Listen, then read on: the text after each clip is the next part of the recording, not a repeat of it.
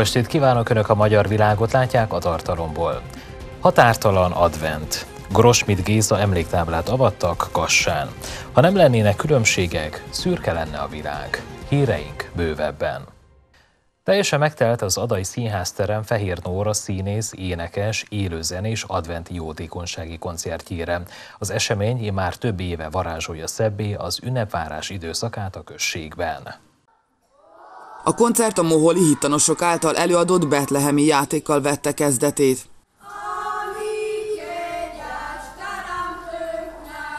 A jótékonysági koncert belépője önkéntes adomány volt, amelyet idén a moholi több mint 200 főt számláló hittanos közösség részére ajánlottak fel a fellépők. Mindenképpen nagy öröm számunkra, hogy ránk gondoltak, hiszen egy kis közösségnek minden támogatás, sőt nem, nem, nem is csak anyagi támogatás, erkölcsi támogatás is nagyon jól jön. Nagy öröm, illetve ezzel együtt nagy erő is hogyha gondolnak rá, mondjuk a fővárosból, ugye, vagy Budapestről. Az eredetileg moholi származású Fehér Nóra 12 éve a Kormorán együttes énekesnője, valamint a Győri Nemzeti Színház színésze. Felvidéki és anyaországi zenésztársaival különleges élőzenés koncerttel örvendeztették meg az adai közönséget.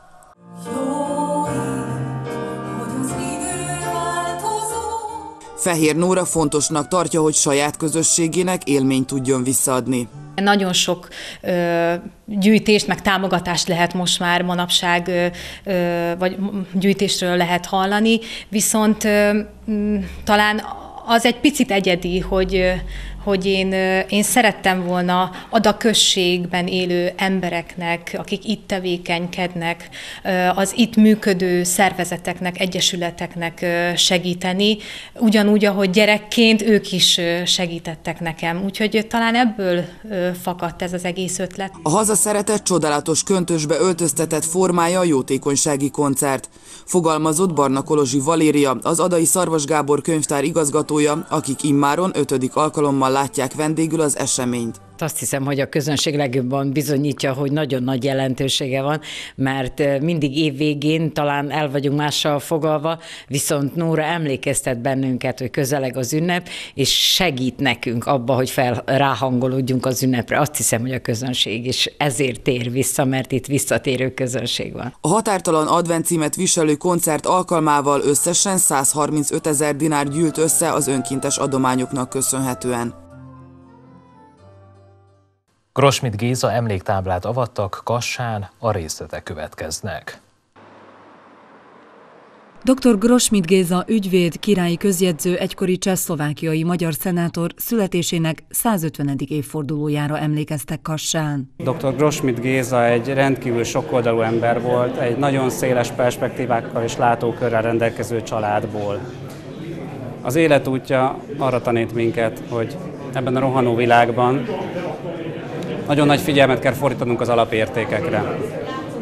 Azokra az értékekre, amik a távolban mutatnak a jövőben, és sokszor olyan módon manifestálódnak a mi életünkben, amit lehet, hogy már mi nem fogunk megélni. Ha mindenki szem előtt tartaná ezeket, akkor ez a világ előre haladna. Az Országos Közjegyzői Kamara rendkívül elkötelezett a tekintetben, hogy megőrizze azokat az alapértékeket és azokat a szakmai eredményeket, amiket a karjának egykori tagjai alkottak, alkotnak életük során.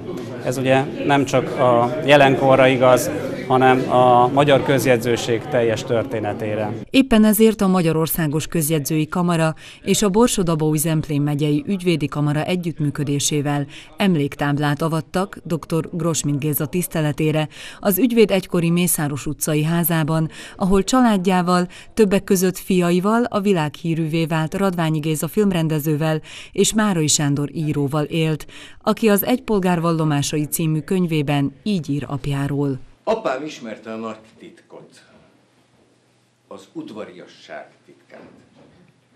Néha azt hiszem, ez a legtöbb, amit ember embernek adhat.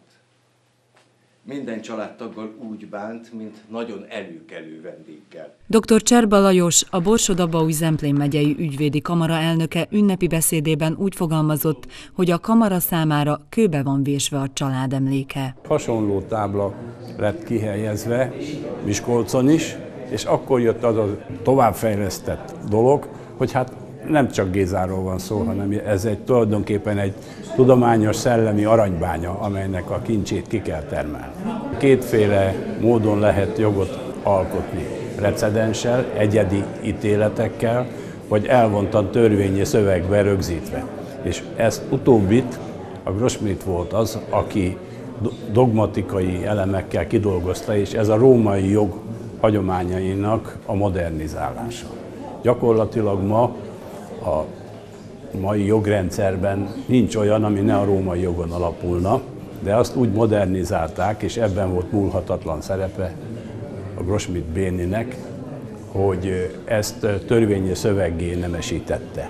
Gézáról többet tudunk meg az ügyvédi tevékenysége kapcsán, mint közjegyzői tevékenysége kapcsán, mert az ügyvédi tevékenysége kapcsán teremtette meg azt az anyagi jövedelmi helyzetet, amely alapján ő, hogy úgy mondjam, ráírt, foglalkozni tudott közjogi dolgokkal, a keresztény politikával, a szociális politikával, a magyarság politikát védelmével, tehát azért tudunk többet, mint ügyvédről, mindig, mert ez volt az a bázis, amin ő építkezhetett szellemileg.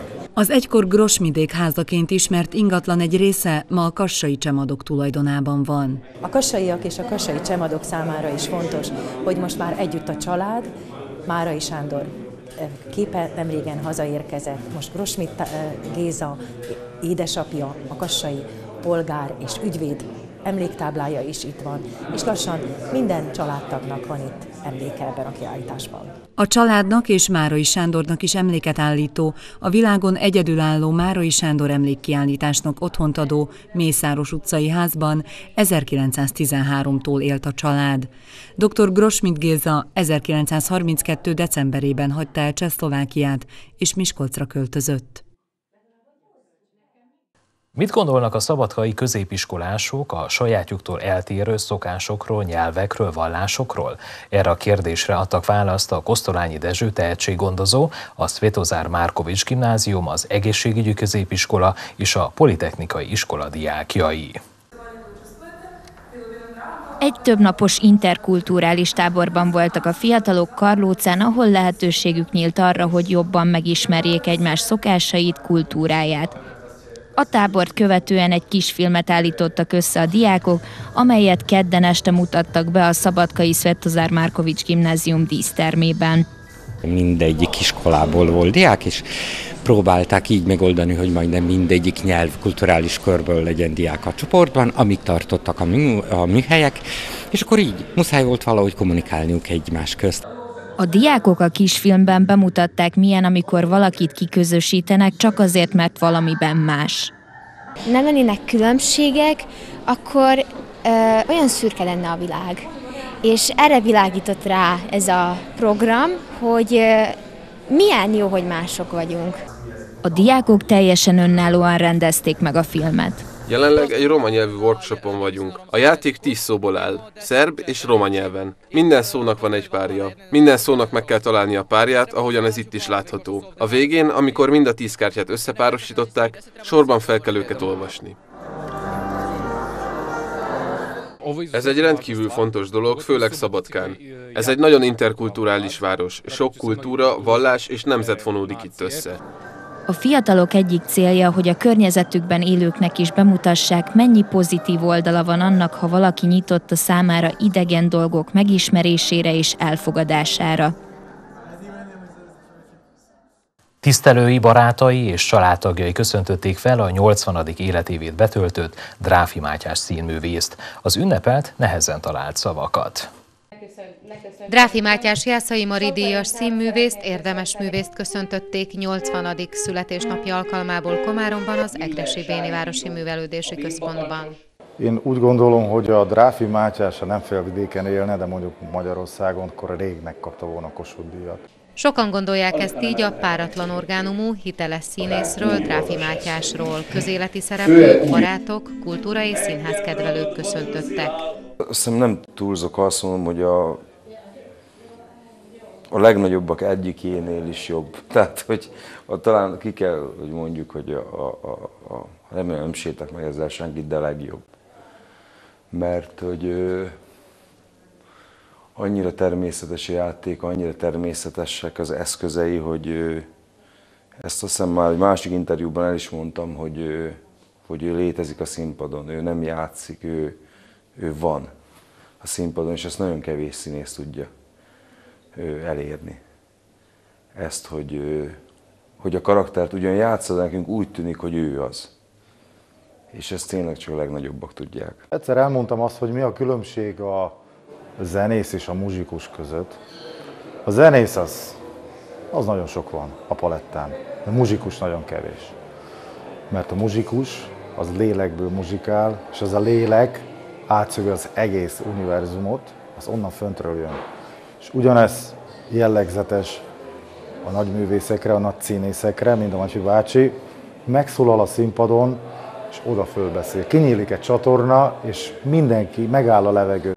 A neves és elismert színművészt műsorral és köszöntőbeszédek áradatával lepték meg tisztelői. Dráfi Mátyás 80 éves. A 80 évből 63-at színpadon, színházban töltött.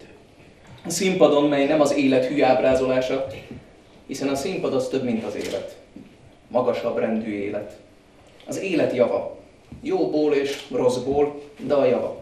Forró Krisztián a szövetség elnöke sem érkezett üres kézzel, és nem spórolt a méltatással sem, épp úgy, mint Cimbalmosné Molnár Éva, aki Magyarország miniszterelnökségének nemzetpolitikai államtitkársága nevében mondott szívhez szóló köszöntést. Ön évtizedek óta felvidék és az ország legismertebb színésze, legszeretettebb színésze, aki számtalan színdarabban, tévéfilmben szerepelt. Kiváló előadóművész, versmondó, pedagógus és hiteles közéleti ember.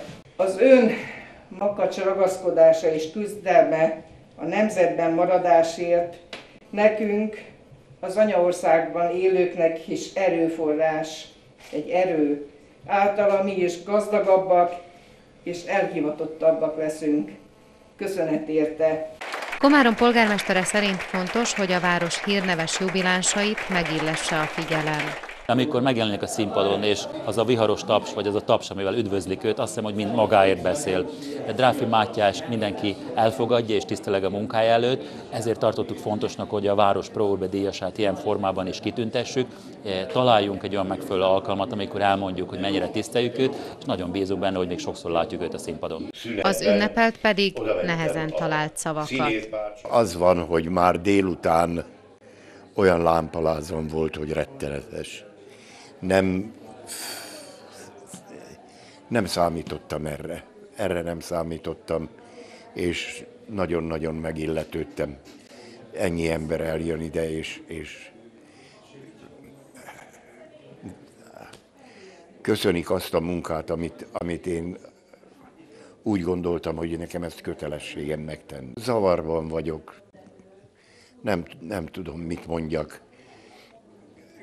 Köszönöm a rengeteg tapsot, köszönöm a szeretetet, amit a közönségtől kaptam. Nem tudok mást mondani. Mindezes során, mint pedig az interjú végén ugyanazt kérte, ugyanazt üzente azoknak, akik számára a művészete érték. A fiataloknak üzenem, szeressék a színházat. Szeressék, mert a iskola és a templomon kívül higgyék el, hogy a színház is kell, hogy, hogy az anyanyelvet ápolja. Dráfi Mátyás, a komáromiak Matyi bácsia 1942. november 17-én született a Mátyusföldi Galántán, még mindig dolgozik, tetvágya nem ismer korlátokat. A magyar szó egyik leghitelesebb és legavatottabb tolmácsolója, akit nem csak a tehetsége tesz nagyjá, hanem az emberi kvalitásai is. Díszüléssel és a Lili Bárónő című operett bemutatásával ünnepelték meg Nagybecskereken a Madács Amatőr Színház fennállásának 70. évfordulóját. Az ünnepségre meghívták a társulat egykori tagjait, pártolóit. Londonban hely, van számos utca, és minden utca a Becskereki Madács Amatőr Színház 1952-ben Bródi Sándor a Tanítónő című színművével kezdte el munkáját, Egy évadban az 1953-54-esben hivatásos társulatként is működött, félhivatalos színházként mindmáig a Bánáti Magyarság egyik legfontosabb kulturális intézménye maradt.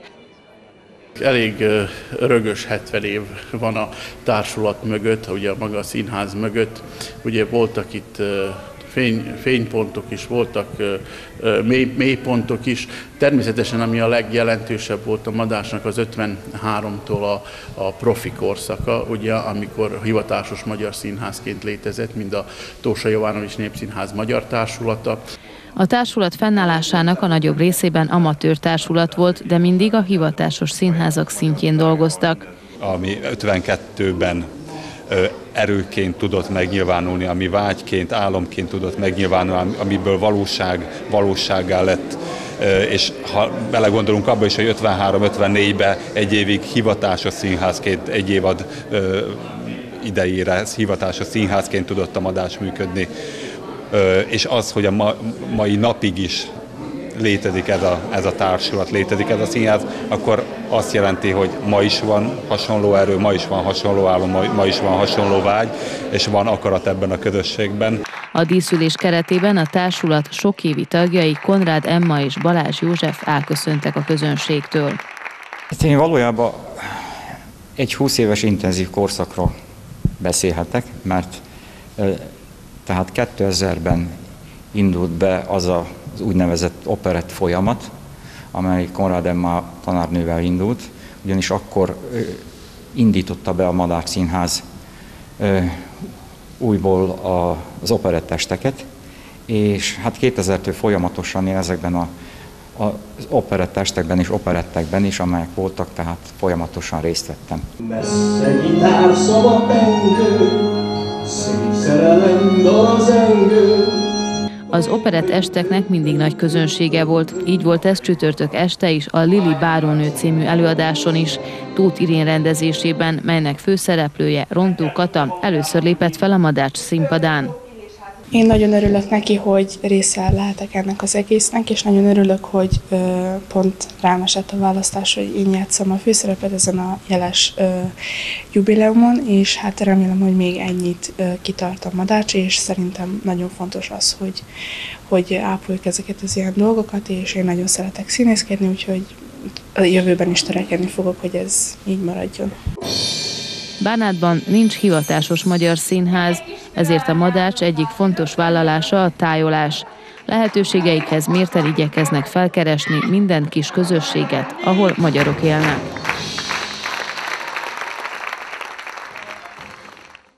Füleken rendezte meg a Szlovákiai Magyar Írók Társasága a 17. őszi írófesztivált. Díjakat is átadtak, melyel ösztönözni szeretnék a szerzőket.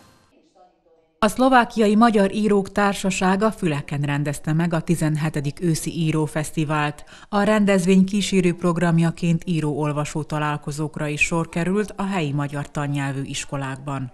Az ünnepi est keretében átadták a Forbát, Talamon és Turcel díjakat, illetve líra és próza kategóriában gazdára találtak az Aranyopusz díjak. Ácsi, verbunkot jár, Laci bácsi, Hinn az inge a gatyából, egész falu bele táncol.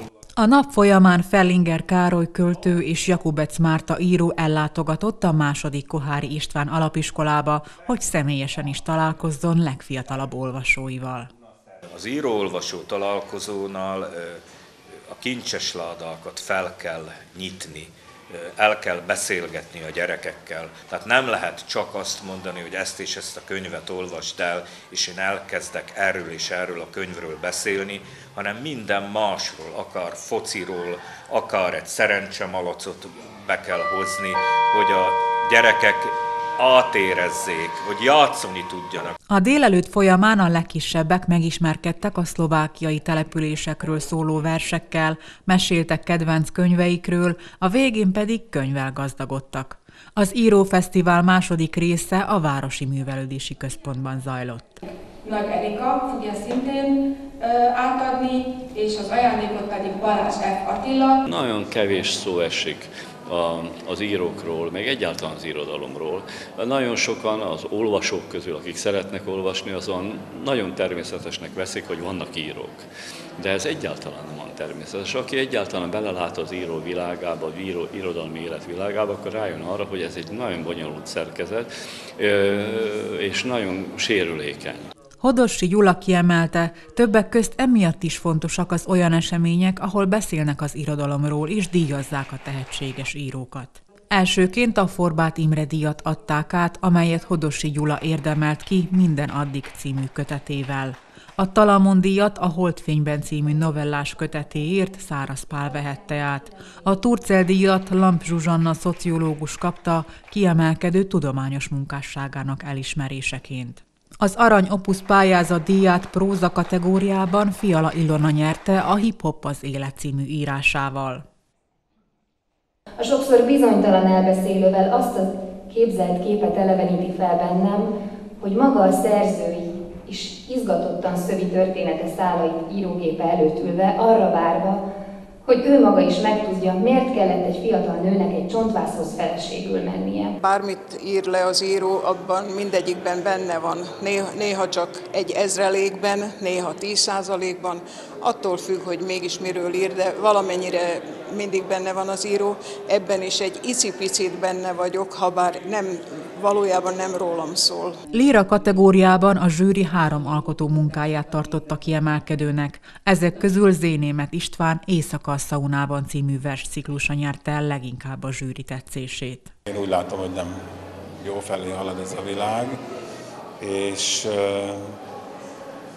milyen eszközei, milyen eszközei lehetnek egy, egy, egy hétköznapi egyszerű embernek, vagy egy pedagógusnak eh, ahhoz, hogy ha más nem tud tenni, akkor legalább fölhívja a figyelmet erre a eh, rossz útra, ami felé tart a világ. A díjakkal ösztönözni szeretnék a szerzőket, hiszen az íróvá költővé válás hosszú folyamat. Nagyon fontos ö, ö, gondolata a Szlovákia Magyar Írók Társaságának, hogy a utánpótlással törődjön. A hagyomány ápolás is egy nagyon fontos terület. Egész évben véve a szlovákiai magyar irodalmi élet, a felvidéki magyar irodalmi életnek egyik mozgatórugója, és örülnék, hogyha ez így maradna a jövőben is. Hogy legyen még sok író és költő, a Szlovákiai Magyar Írók Társasága publikációs lehetőséget kínál a fiatal íróknak mentorprogramjuk keretében. Az okostelefon használatát ismertetik a magyar kanizsai időseknek a helyi felnőtt képzők regionális hálózatának szervezésében. A 20 órás képzés alatt az alapoktól sajátíthatják el az okostelefon használatát. Videó 17 személy részvételével zajlik az idősebb korosztály okostelefonos képzése a Magyar Kanizsai Knesa oktatási részlegén. Az órákon elsajátíthatják az okostelefonok használatát és annak buktatóit is.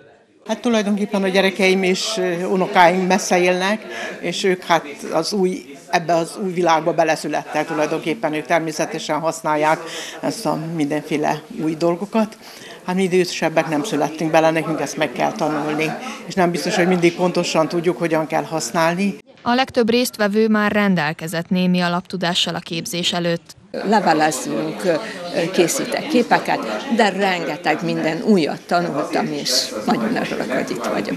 És nagyon örülök a társaságnak is, mert ez így csoportosan megy igazából. Az órák előtt a hallgatók egy felmérésen vettek részt, hogy az oktató képet kaphasson arról, mi az, aminek elsajátításában segítségre szorulnak. A képzésen teljesen az alapoktól indultak. Ennek az egész tanfolyamnak az elnevezése ugye okostelefon képző tanfolyam, és ott van a nevében a projektben, hogy ülj mellém. Rengeteg gyakorlás, két alkalommal mentorok segítségét is igénybe vehettük. A KNESA Oktatási és Művelődési Intézmény Berkeiben már sor került korábban egy okostelefon kezelői képzésre.